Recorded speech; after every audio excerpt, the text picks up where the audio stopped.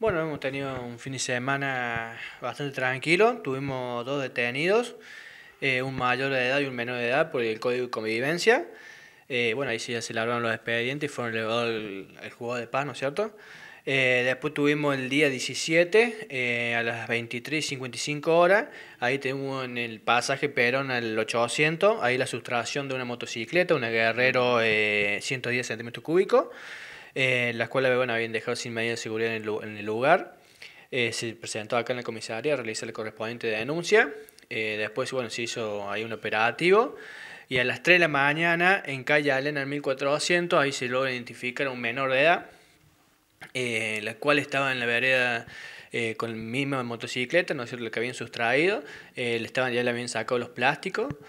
Eh, así que inmediatamente se procedió al secuestro de la, de la motocicleta, bueno, se trasladó al menor y se lo puso a disposición, ¿no es cierto?, del jugador menor y a, sus padres. Eh, bueno, ahí la motocicleta se encuentra en este momento secuestrada acá en la comisaría, hay que entregársela al padre.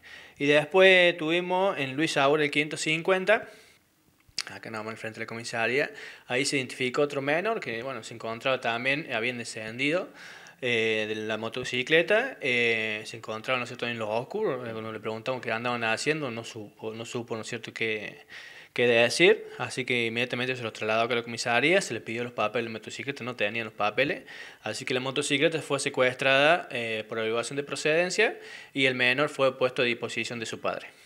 Walter, en lo que respecta al primer hecho, eh, ¿estos chiquitos tienen algún antecedente? Eh, ustedes cuando hicieron, bueno, que se hace la denuncia, el damnificado hace la denuncia, directamente van a un lugar que ya más o menos ustedes pueden tener en cuenta?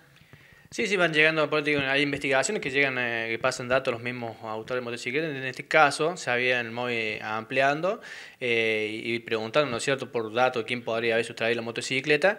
Se llegó a ese domicilio, bueno, encontrándolo justo en, la, en vereda del domicilio, ya desarmando la motocicleta. Eh, ¿No tenía antecedente el chico? No tiene antecedente, pero como te digo, son menores de edad, los que están tienen menos de 15 años de edad, así que no, no poseía antecedentes. Es decir, que hemos tenido de alguna manera un fin de semana, salvo esto, tranquilo, digamos.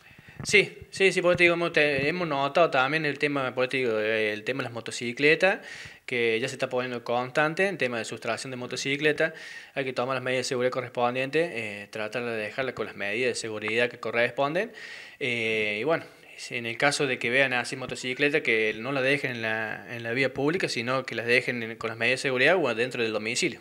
Eh, sabemos que bueno em, va a tener mucha actividad en cuanto a seguridad porque viene el gobernador cerca. Sí, así que estamos hablando del operativo. Eh, ya a las 3 de la tarde nosotros vamos a dirigir a la localidad de Cautivo, que va a bajar el gobernador. Hay un acto previsto ahí, por van a inaugurar el, tema del gas, ¿no es cierto? Así que bueno, ya está todo el operativo armado y mañana tenemos otro operativo también que va a ser la entrega del nuevo móvil en la localidad, ¿no es cierto?, ahí de Tosquite.